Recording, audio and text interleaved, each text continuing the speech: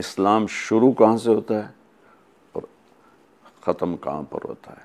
अल्लाह का फरमान है इन दीन इस्लाम कि अब इस्लाम ही चलेगा, दुनिया और आखरत में कामयाबी के लिए। अच्छा इस्लाम क्या है? तो हम अल्लाह के रसूल से ही पूछ लेते हैं। एक शख्स आए, जबरील इंसानी शक्ल में आकर कहने के या रसूल अल्लाह मल इस्लाम इस्लाम क्या है? तो आप देखिए, आपने कहा, इस्लाम, ला मोहम्मद रसूलुल्लाह की गवाही देना, नमाज़ पढ़ना ज़क़़त देना, रोज़ा रखना और अल्लाह के घर का हज करना, जो कर सकता हो। ये साथ लगा दिया कि सब पे फ़र्ज़ नहीं, ज़क़़त सब पे फ़र्ज़ नहीं, रोज़ा, नमाज़, ईमान, ये तीन चीज़ें। ईमान 24 घंटे फ़र्ज़ है नमाज़ पाँच वक्त फ़र्ज़ है और रोज़ा महीने में, साल में एक महीना फ़र्ज़ है और उसमें भी बीमार के लिए छुट्टी है, मुसाफिर के लिए छुट्टी है। ज़क़़त पैसे वाले पर है, नहीं है तो छुट्टी है। और हज भी, पैसा भी हो, सेहत भी हो। पैसा कोई नहीं, माफ़। पैसा है, सेहत कोई नहीं, माफ़। अब इसी बात को मैं, ये है इब्तदाई इस्लाम। इंतहाई इस्लाम क्या है? मेरे नबी से एक शख्स ने पूछा, या रसूलुल्लाह, मल इस्लाम? इस्लाम क्या है? अब आपका जवाब और है। क्या मतलब है कि अब आप इस्लाम की इंतहा बता रहे हैं? चूँकि ये सवाल आखिरी हज के मौका पर अमर बिन आबसा रज़ी अल्लाह ने आपसे सवाल किया, जब इस्लाम मुकम्मल हो चुका है। या रसूलुल्लाह, मल इस्लाम? इस्लाम क्या है?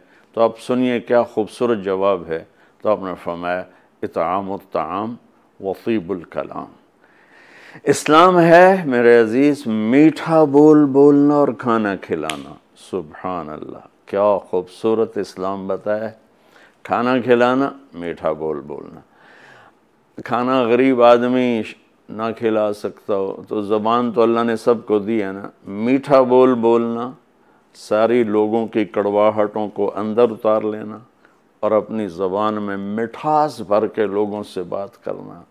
गिले, शकवे, ताने, बोलियाँ, तहमत, इल्ज़ाम, गालियाँ बेज़त करना, पगड़ी उछालने वाला इस्लाम को नहीं जानता। इस्लाम से दूर है, चाहे तहजद गुजार चाहे रोज़ेदार। हज़रत उमर का फरमान सुनो। हज़रत उमर रज़ी अल्लाह फरमाया अयहन्नास ला तगरन्नकुम तन तनतरजल बिल्लैल सलात। लोगों, किसी को तहजद में रोता देख के ये ना समझने कि बड़ी पहुँची हुई सरकार है। इन रजुल रजुल मन अद्दल अमानत इदा तो मिन व मन सलमसलमून मिन लसान ही व यदि ही उमर जैसी हस्ती फरमा रहे हैं कि सुन लो, कामिल कामिल इंसान वो है जो किसी को धोखा ना दे और जो किसी को दुख ना पहुँचाए, वो है कामिल इंसान।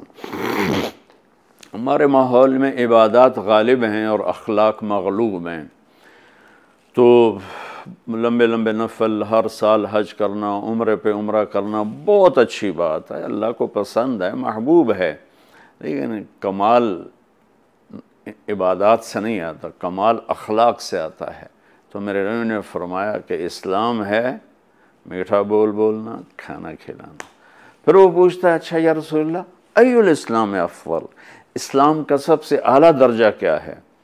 तो मेरे नबी ने फरमाया मनसलमसलमून मिलसान ही वयद ही जो अपने हाथ और ज़बान से किसी को तकलीफ़ ना पहुँचाए, ये सबसे अली दर्जे का मुसलमान है। आप देखिए, आप क्या फरमा रहे हैं?